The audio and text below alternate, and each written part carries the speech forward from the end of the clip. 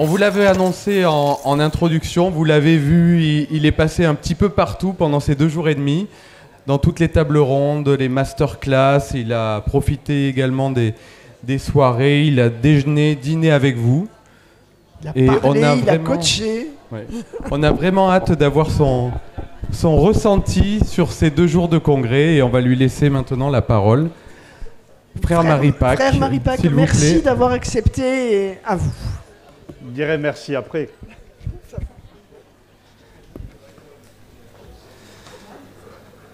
Alors, est-ce que tout le monde m'entend?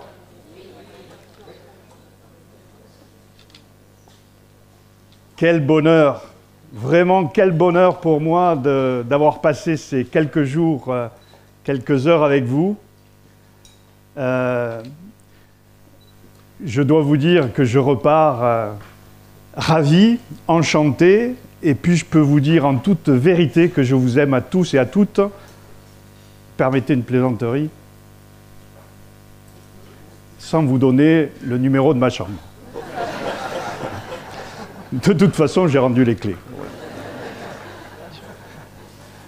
Euh, je dois remercier euh, l'initiative de Procréa d'avoir euh, osé ce thème du bonheur dans l'entreprise, dans l'entrepreneuriat, et le thème de, l'amour pour l'accompagnant. Alors je dois dire que j'ai été un peu surpris de ne pas entendre ce mot de bonheur, ce mot d'amour dans les conférences, les ateliers. et c'est significatif d'une époque où on a du mal à parler d'amour à parler de bonheur, surtout dans le monde du travail, qui, comme l'a bien souligné notre philosophe bien-aimé, est un lieu de souffrance, d'aliénation, mais pas que, et j'espère que je vais vous montrer, vous convaincre que le travail est aussi un lieu de bonheur et d'épanouissement. Euh, pourquoi on n'ose pas parler d'amour et de bonheur, on, parle de bien-être, hein, on parle de bienveillance, de respect, mais jamais d'amour. Et je voudrais essayer de revenir avec vous rapidement sur ces fondamentaux. Comment peut-on faire un congrès sans définir le bonheur, ce qu'est le bonheur, et ce qu'est l'amour, euh, ou ce qu'on veut y mettre dedans euh, donc je pense que ce congrès est un, congrès fondateur, parce qu'au lieu de... On parle souvent de technique, des choses qui évoluent, du management qui évolue, etc. Euh, et donc il faut s'adapter. Mais je pense qu'il y a quelque chose qui perdurera toujours, c'est la notion de bonheur et la notion d'amour. Ça traverse tous les âges. Et je pense que ça fait partie de l'anthropologie. Euh, si je vous demande euh, ce pourquoi vous êtes fait, qu'est-ce que vous allez me répondre? On est fait pour aimer, et après Être aimé. Être aimé, mais fondamentalement, on est fait pour le bonheur.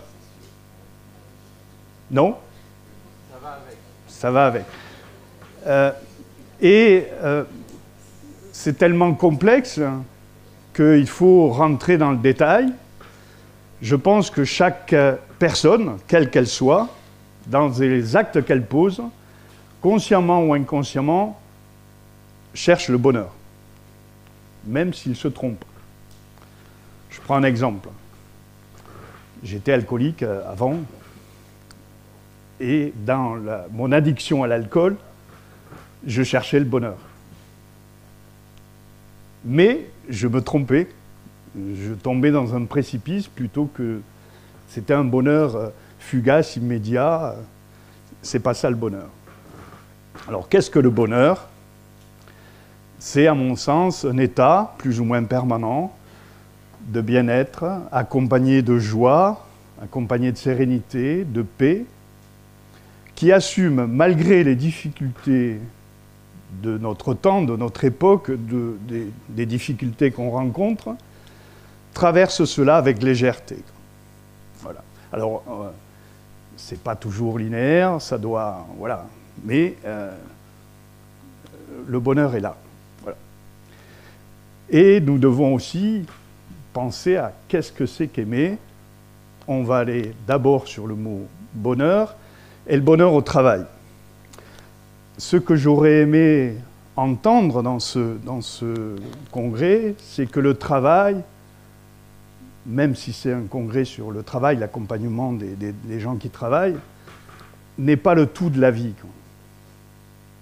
Et pour cela, je voudrais vous montrer comment la, la vie monastique, dans son essence, est exemplaire pour l'équilibre humain et l'équilibre et la, quête de bonheur. Et cela s'est inscrit dans l'horaire. Je m'explique. Euh, la personne humaine est faite pour travailler. Ce n'est pas le but premier, elle est faite pour la relation. On est des êtres de relation. Donc la relation, euh, elle, se situe euh, euh, à trois niveaux dans la spiritualité chrétienne, la relation avec Dieu, la relation avec ses frères et la relation à soi-même. Et pour que la personne s'épanouisse, on doit, à mon sens, cultiver ces trois types de relations, la relation au sacré, la relation aux autres et la relation à soi. Et euh, pour cela, la vie monastique, dans son horaire, favorise ce type de relation. On a un temps de solitude, un temps communautaire, un temps d'expression de, notre capacité à vouloir le sacré. On a besoin aussi, pour s'épanouir et être heureux, de, de culture. Et dans la vie monastique, il y a des horaires destinés à la lecture, à la méditation, à la réflexion, pour mieux comprendre qui nous sommes, quelle est notre destinée, et finalement ce pourquoi nous sommes faits, le bonheur et comment y arriver.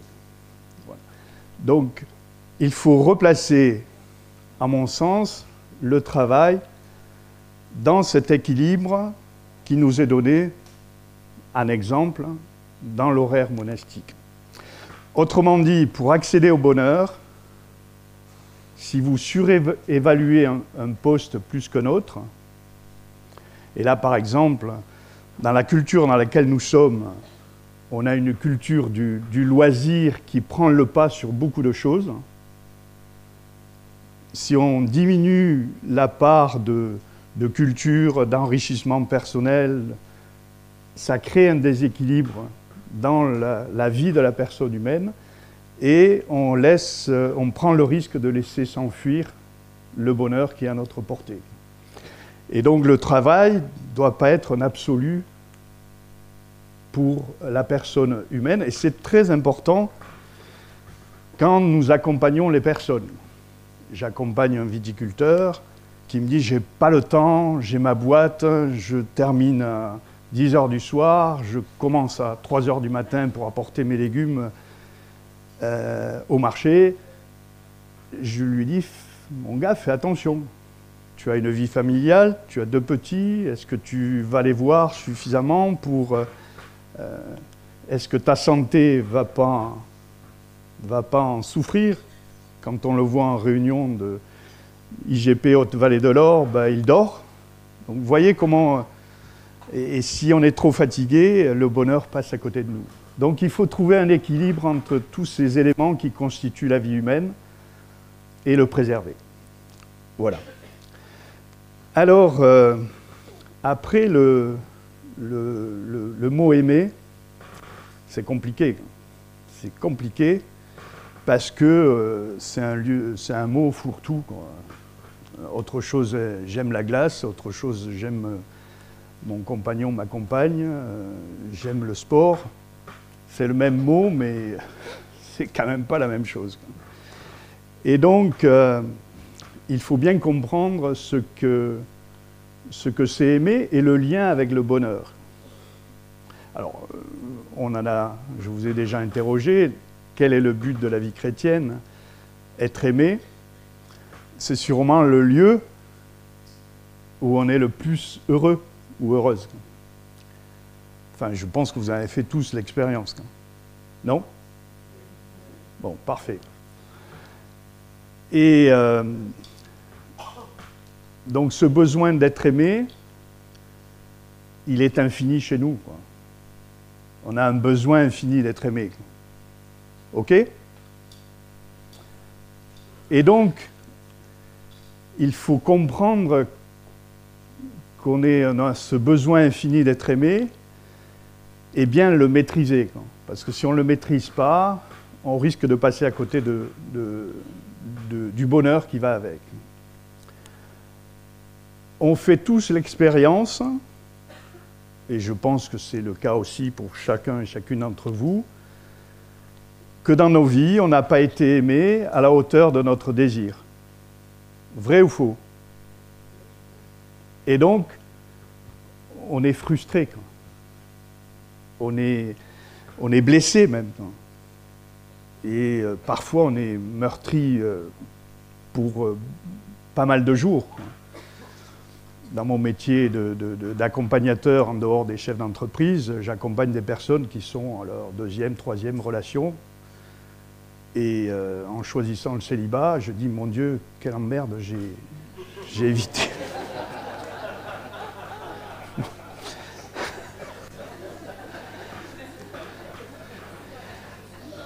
Mais encore une fois, je ne juge personne parce que,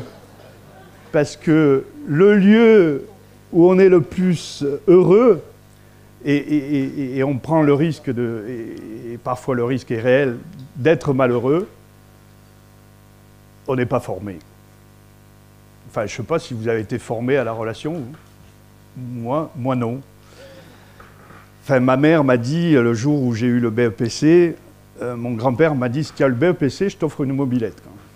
Et tu iras au bal du village à côté. Et comme formation, ma mère m'a dit, fais attention avec les filles. J'aime beaucoup ma mère, je lui en veux pas, mais c'est un peu léger. Le lieu où vous êtes censé être le, plus heureux, vous n'avez pas de formation. Alors que vous, on a des formations à l'accompagnement, on a des outils. Euh, euh, vous avez votre gamine, euh, cours de piano, elle a un coach, le training pour le sport, vous avez des... Et on n'a pas de, de, coach pour, pour la relation. Et donc on fait comme on peut, et comme on ne sait pas, et qu'on est fait pour le bonheur, on n'a pas envie de souffrir, ben, qu'est-ce qu'on fait quand ça va mal On se tire. C'est logique, parce qu'on n'est pas fait pour souffrir. On est fait pour le bonheur.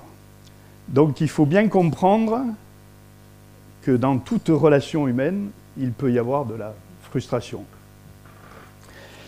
Et, de, la, souffrance par ailleurs. Donc euh, quand j'ai dit ça, j'ai fait un constat, mais il faut trouver la solution. Et la solution, elle est dans le comprendre ce que c'est aimer. Euh, est-ce que je peux prendre euh, l'exemple des, jeunes, couples que, j'accompagne, qui me demandent de conseils pour réussir leur vie conjugale hein? Donc tout feu, tout flamme, hein. ça durera pour toujours. ouais, mais comment vous allez vous y prendre? Vous avez tous fait l'expérience du sentiment amoureux il est merveilleux, elle est merveilleuse, je veux la voir, je veux l'entendre, je veux la toucher, je veux... Donc il y a un élan vers l'autre qui est poussé par le sentiment amoureux, qui est nécessaire pour construire la relation, mais qui ne peut se construire sur ses émotions, ses sentiments.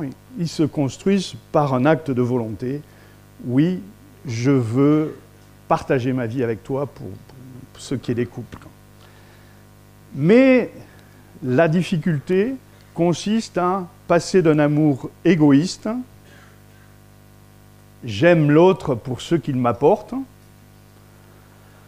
euh, quand je la vois ou je le vois, je suis émerveillé, euh, enfin tout se passe bien, euh, etc. mes parents aussi, quand je les vois, ils me donnent des sous, ils me comblent, enfin bon, je sais pas. Donc je peux les aimer par intérêt. Et c'est quand même important de, se connaître suffisamment pour, pour voir combien nous sommes intéressés dans la relation. Et quand on, est, euh, on attend quelque chose de l'autre, euh, quand on est euh, tourné vers soi, ça ne peut pas marcher. Ça ne peut pas marcher et on le constate, ça ne marche pas. Pour que ça marche, il faut apprendre à passer d'un amour intéressé, subjectif, tourné vers soi, égoïste, à un amour gratuit et désintéressé. vous verrez que je ferai la boucle avec le bonheur. Quand vous aimez l'autre et que vous attendez de l'autre, vous êtes toujours frustré. Même si l'autre vous aime vraiment, veut votre bien, vous êtes toujours frustré parce que vous faites l'expérience que l'autre ne vous aime pas, ne vous donne pas la mesure de votre désir. Et donc, vous êtes toujours frustré quand vous êtes dans l'attente. OK? C'est clair? Donc, la meilleure, manière de ne pas être frustré, c'est d'apprendre à donner, puisque l'amour gratuit et désintéressé, l'amour est là pour le bien de l'autre. J'aime l'autre non pas pour ce qu'il me donne, j'aime l'autre pour le rendre, la rendre heureuse. Et quand on a compris ça, la vie est simple. Si tous les jours, vous mettez en pratique, en vous levant le matin et en vous couchant le soir, je suis là pour rendre les autres heureux, premièrement ma famille, deuxièmement euh, mes amis, mes collègues de travail. La vie est simple et vous n'êtes jamais frustré puisque vous n'attendez rien des autres.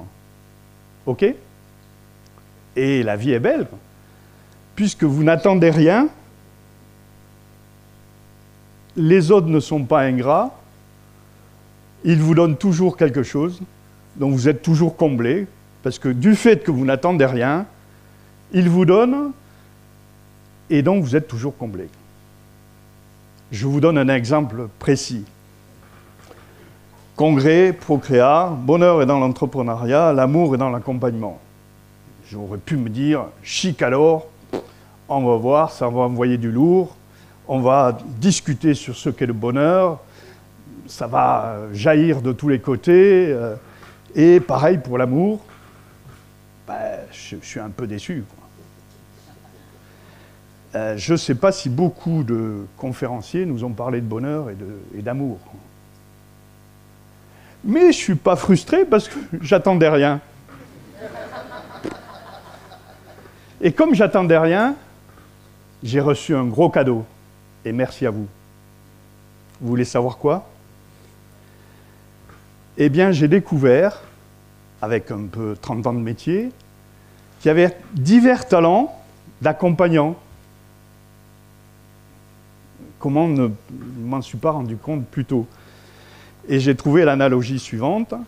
Il y a des médecins généralistes, il y a des médecins spécialistes, pneumologues, cardiologues, etc. Et vous avez des urgentistes. Eh bien, moi, je me sens un accompagnement, un accompagnant, pardon, urgentiste. Voilà mon talent. Et ce n'est pas de l'orgueil, hein, c'est de l'humilité, parce que euh, on est là aussi pour exercer son talent. Talent, je n'ai pas entendu parler. Pourtant, c'est capitalissime dans l'entreprise et pour le bonheur de la personne humaine. Donc, j'ai découvert que j'étais fait pour accompagner des situations d'urgence d'entrepreneuriat. Voilà. Euh, donc, c'est un gros cadeau, puisque je vais pouvoir euh, l'ayant nommé, le mettre en pratique. Voilà. Alors, euh, revenons à l'amour. Vous avez vu comment c'était en lien avec le, bonheur. Hein. Je suis toujours comblé parce que j'attends rien. Euh, donc on est là pour donner gratuitement, sans rien attendre en retour. Ça, c'est encore assez facile. Mais en supportant l'injustice et la calomnie. Un peu plus compliqué. Un peu plus compliqué. Mais le passage est obligatoire pour le bonheur.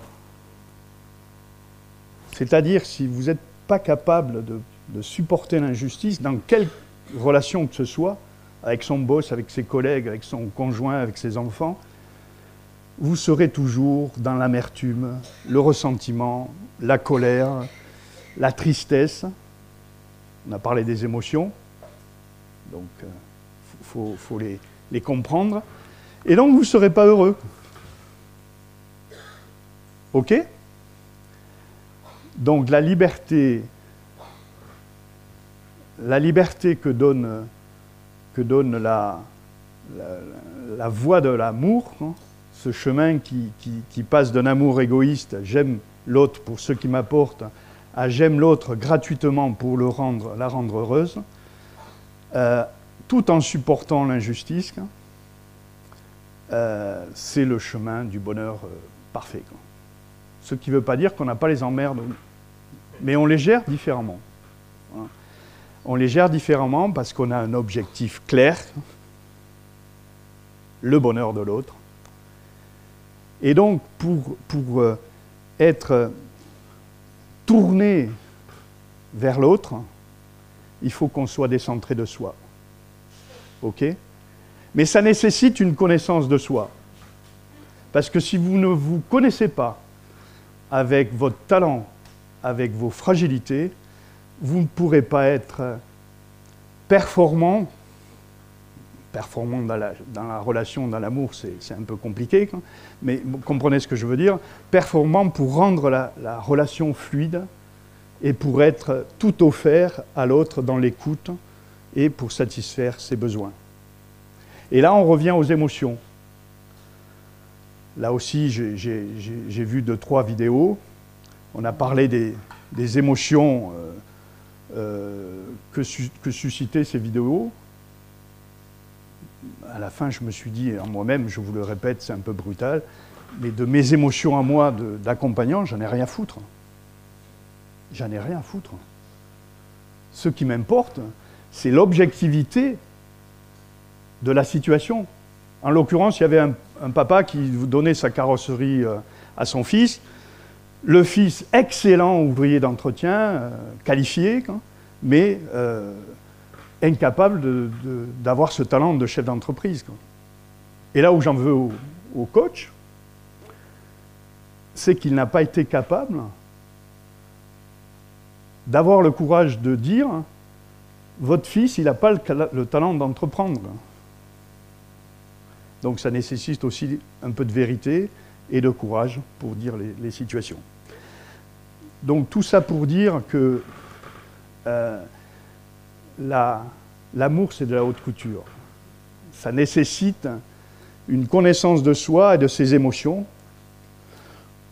Je suis un garçon euh, colérique.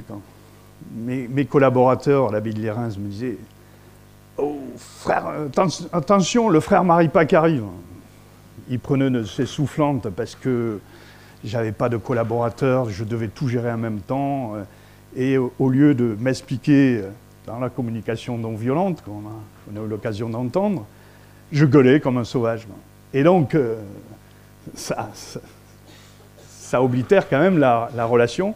Donc il est nécessaire de se, de se, connaître. Je suis un garçon impatient, euh, parfois autoritaire, donc ça, ça, ça, impacte ma qualité relationnelle avec euh, la personne que j'accompagne. Là, par exemple, J'accompagne un syndicat de la Haute-Vallée de l'Orbe des vins. On leur a fait un voyage de presse qu'on a payé à moitié. On a eu 15 articles il y a un an et demi maintenant.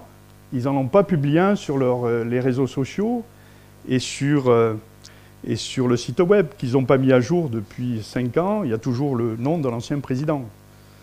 Donc vous voyez, euh, mon impatience, comment je, la gère, ça me, ça, crée des émotions qui peuvent interférer dans la relation avec le syndicat. De toute façon, j'ai décidé de ne plus les accompagner parce que.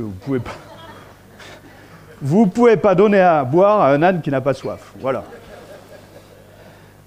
Par contre, j'ai décidé d'accompagner des jeunes viticulteurs qui veulent s'installer euh, et qui ont la niaque. Euh, euh, mais voilà, là, je suis dans une belle relation parce qu'il y a de l'enthousiasme, il y a de l'envie, il y a des talents, etc. On y reviendra. Donc tout ça pour dire que c'est de la haute couture, que vous devez connaître vos fragilités, donc il y a une connaissance de soi indispensable à la relation et à notre bonheur personnel, notre équilibre. Cette, connaissance de soi va nous permettre de prendre du recul pour mieux être tourné vers l'autre et mieux le comprendre, mieux saisir qui il est, mieux appréhender ses fragilités euh, passer par-dessus, les couvrir de, les couvrir de, tendresse, hein, euh, pour euh, mieux prendre en compte sa personne, son projet et l'adéquation entre son projet, l'écosystème, etc. Comprenez combien c'est indispensable cette connaissance de soi, cette relation tournée vers la réussite de l'autre et le bien de l'autre. Et donc, ça reste, ça reste toujours de la haute couture. De la haute couture. Il euh, y, a, y, a, des règles générales, mais c'est quand on a les mains dans le cambouis qu'on peut avancer. Voilà. Que dire d'autre? Ce qui m'a interpellé aussi, c'est la première, euh, première conférence qu'on a eue, euh, Madame Paul, c'est ça? Qui parlait de proximité de distance. Euh, c'est quelque chose d'essentiel dans la relation. L'amour, parce qu'il est tourné vers l'autre, gratuitement, nous rend proches.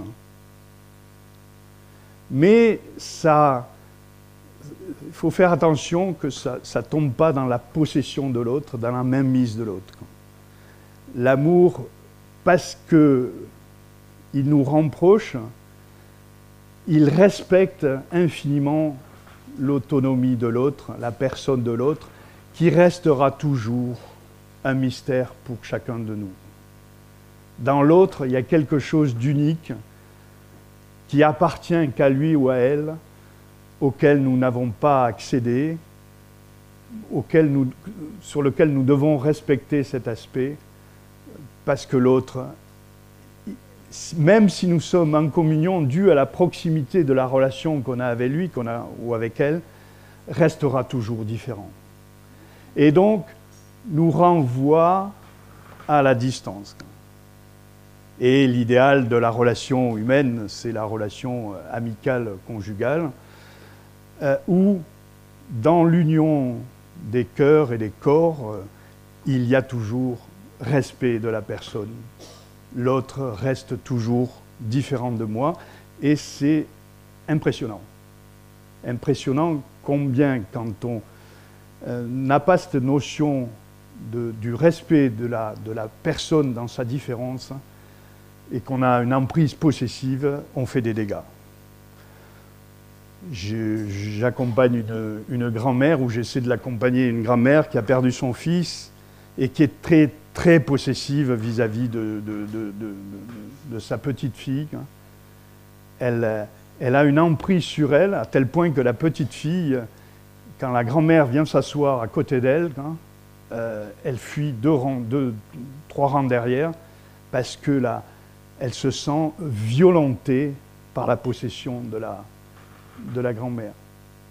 Et donc nous, dans notre accompagnement, on doit garder cette distance, euh, sauvegarder la liberté de l'autre euh, et,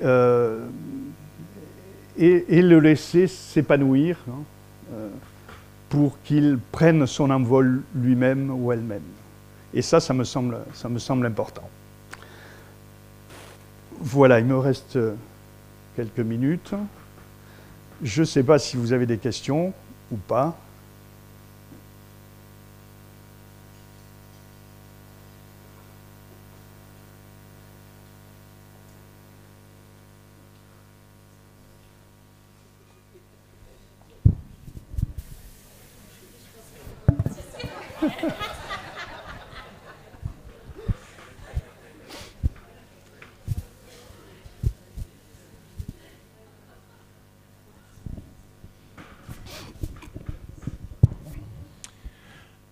Merci pour euh, vos propos, qui effectivement ne peuvent que nous éclairer.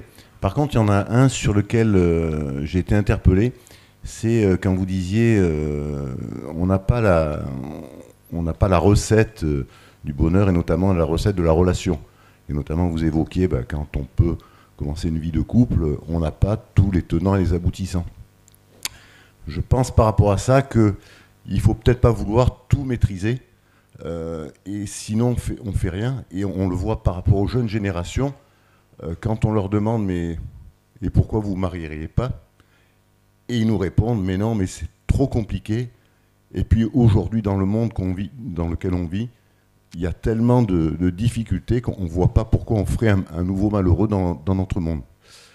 Et c'est vrai que nous, à l'époque, on ne se posait pas toutes ces questions. Et puis je pense qu'il y a quand même cette part d'imprévu qui peut faire que, comme vous le disiez, pour qu'il y ait un bonheur, il faut aussi qu'il soit désintéressé. Il ne faut pas qu'il y ait uniquement ce bonheur égoïste. Mais s'il y a une juste alchimie entre les deux, avec un petit peu cette part d'imprévu, eh bien on peut accepter, euh, je dirais, euh, bah, parfois des, contraintes qui font que la relation peut durer.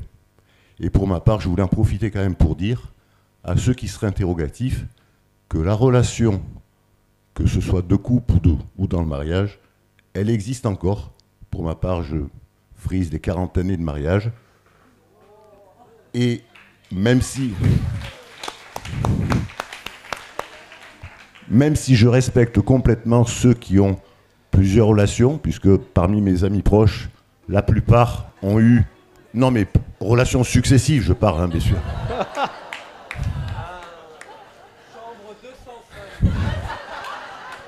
La clé est rendue.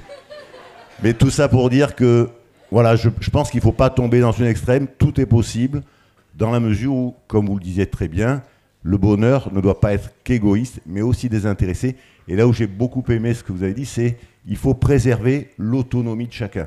C'est pas parce qu'on est marié ou en couple qu'on va perdre sa liberté, on va perdre ses hobbies, ses besoins parfois personnels.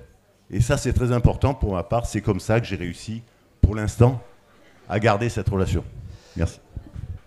Alors, moi, pour répondre, euh, moi, je n'aime pas trop la plongée hein, sous-marine, mais j'estime que si je devais faire de la plongée sous-marine, je prendrais toutes les précautions et j'écouterais tous les conseils des spécialistes pour faire de la plongée. Ce qui n'empêche pas d'être éveillé à la surprise. Autrement dit, il vaut mieux être formé à un métier, à une relation. Ça n'empêche pas les imprévus de la vie, parce que la vie, euh, euh, qui eût cru que aujourd'hui je reçoive euh, le talent d'accompagnant urgentiste. C'était pas prévu.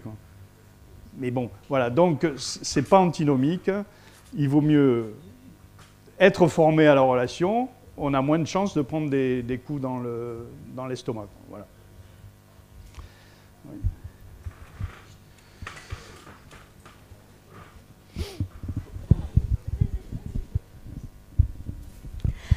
Merci beaucoup pour, euh, vos, paroles.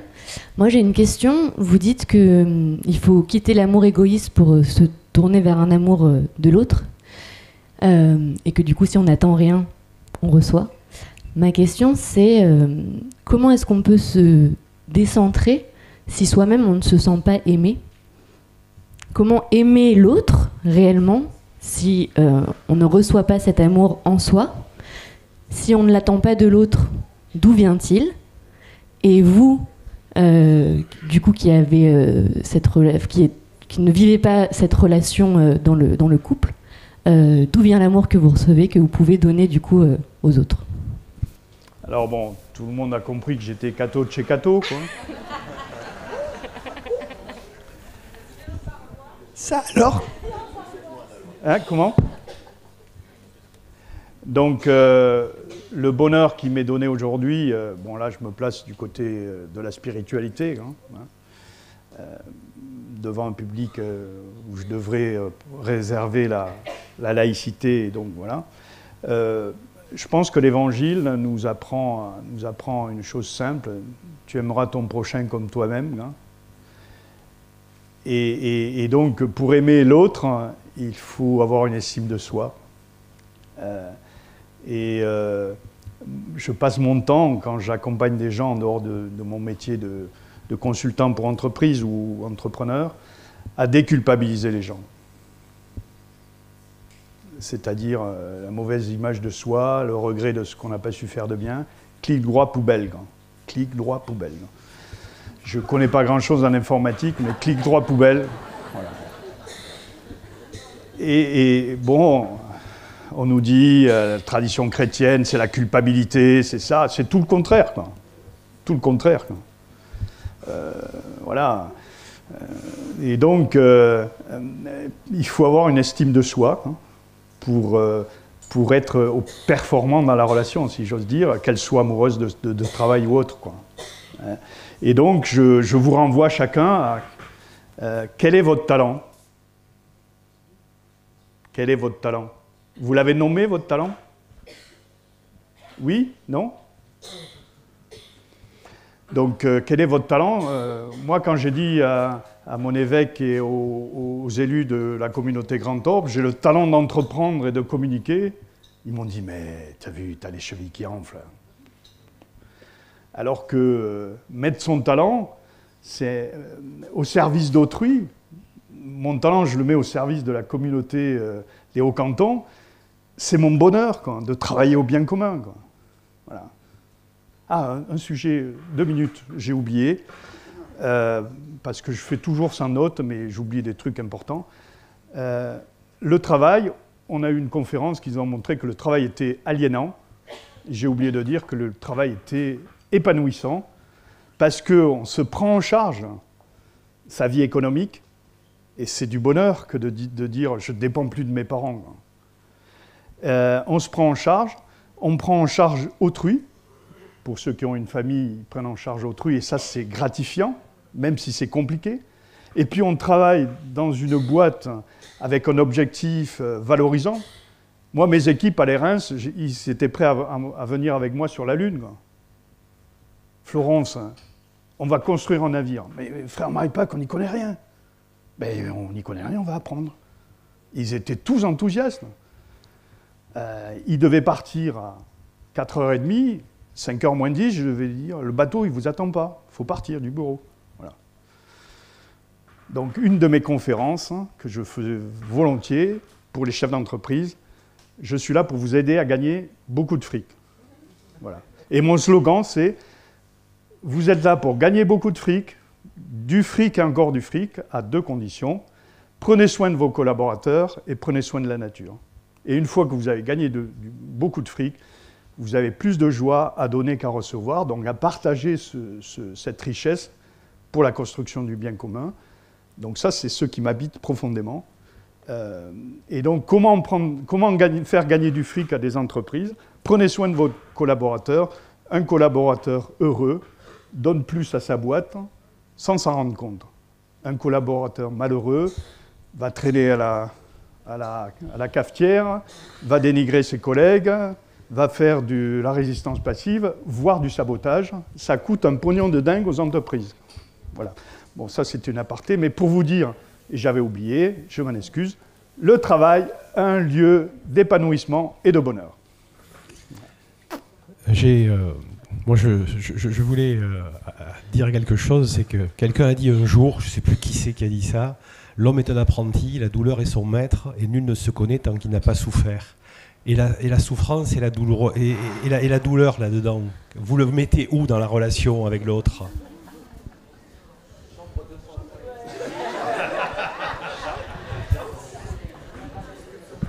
Vous savez, au XIXe siècle, il était bon ton euh, de représenter le Christ souffrant en croix, euh, et on disait souffre et tu seras heureux.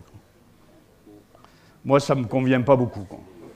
Ce qui me convient, aime, sois tourné vers les autres, tu vas rencontrer des emmerdes à ne plus en finir, mais tu seras heureux, et donc tu rencontreras la souffrance. Euh, dans les relations, dans le contexte l'écosystème ou dans ta vie personnelle. Mais on n'est pas fait pour souffrir, on est fait pour aimer, et notre condition d'homme et de femme fait qu'on rencontre la souffrance, qui est un accident de la nature humaine. Hein. On n'est pas fait pour souffrir, on est fait pour le bonheur. Ok? Non Si? Mais parce qu'on n'est pas armé à, affronter les difficultés relationnelles. Ça s'apprend, ça. Ça s'apprend. C'est pour ça que je dis qu'aimer, c'est de la haute couture. C'est avoir les oreilles ouvertes 24 heures sur 24 et puis dire les choses au moment où on doit les dire. Moi, il y a des gens, des gens que j'accompagne, je ne leur ai pas dit les choses depuis des années. Aujourd'hui, je commence à pouvoir entrevoir la porte pour leur dire que peut-être il faudrait qu'ils changent un peu ou que. Vous voyez Donc, l'attitude d'être ouvert, disponible pour les autres, nous amène dans des champs euh, inconnus, mais c'est de la haute couture. C'est de la haute couture. Vous devez sentir les choses, euh, les peser, les discerner, etc. J'avais une question sur, euh, par rapport à ce que vous disiez tout à l'heure sur l'injustice, qu'il fallait l'accepter. Oui. Mais comment on fait? Et les personnes toxiques autour de nous aussi, comment on fait pour les accepter? Comment on fait pour les? Accepter et accepter l'injustice, comment réagir? Clic droit, poubelle. Alors, il ne s'agit pas d'accepter l'injustice. On doit, on doit, en tant qu'être humain, parce qu'on aime les gens, s'insurger contre l'injustice. Mais quand elle vous tombe dessus, eh bien, vous devez, euh, vous devez l'accepter. Alors, mon boss, c'est, mon boss, c'est le Christ, mon mentor, c'est le Christ. Il a, il a quand même supporté l'injustice sans, sans, sans murmure, avec douleur. Euh, et donc, c'est dans cette dynamique que j'essaye de rentrer pour, pour euh, vivre, vivre mon chemin d'amour et de charité. Mais on a besoin aussi d'une force extérieure qui nous, qui nous aide à dépasser ça. Bon, ça m'embête de vous ramener ça à la tradition chrétienne, mais je, suis quand même pétri de ça. Euh, euh, c'est difficile de pardonner l'impardonnable. OK? Et donc nous, dans la tradition chrétienne, on demande à Dieu de nous aider à pardonner l'impardonnable. C'est ce que j'ai fait toute ma vie parce que si je devais faire un bouquin sur, les relations que j'ai eues avec les uns et les autres, ça serait gratiné. Mais au bout du compte, ça me donne le bonheur et la liberté. Et je terminerai là-dessus peut-être, si vous voulez bien. Qu'est-ce que la liberté? Qu'est-ce que la liberté? La liberté, c'est de choisir le bien en toutes circonstances, tel que notre conscience le, le perçoit. Sachant que notre conscience doit être toujours éclairé, confronté à une vérité objective qui nous dépasse. OK? Merci. Frère Marie Pac. Merci beaucoup.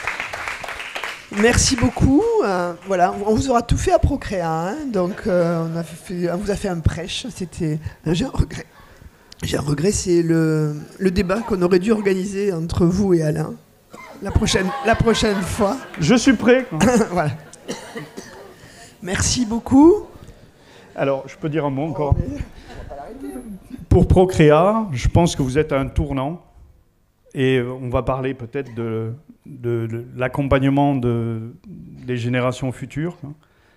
ça, ça sera à creuser.